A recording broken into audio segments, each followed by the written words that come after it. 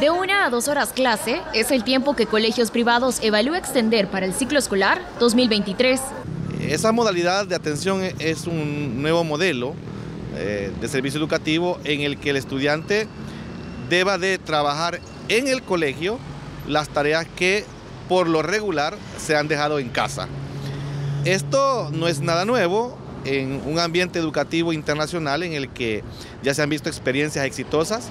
Con esto, según Javier Hernández, presidente de la Asociación de Colegios Privados, disminuirían los vacíos curriculares que dejó la pandemia de COVID-19, ya que según el Banco Mundial y UNICEF, El Salvador tuvo un retroceso de casi 10 años en los procesos de aprendizaje. Se trata de que si el estudiante va a estar en casa muy poco tiempo, o no se le dejan tareas para que lleve a casa, o lleva tareas sumamente, digamos, autodidactas. Padres de familia como don Antonio y doña Patricia han opinado sobre esta posibilidad.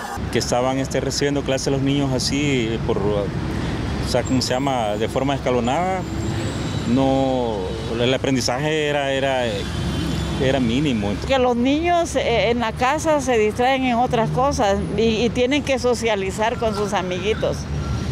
Para mí mejor que se mantengan en los colegios.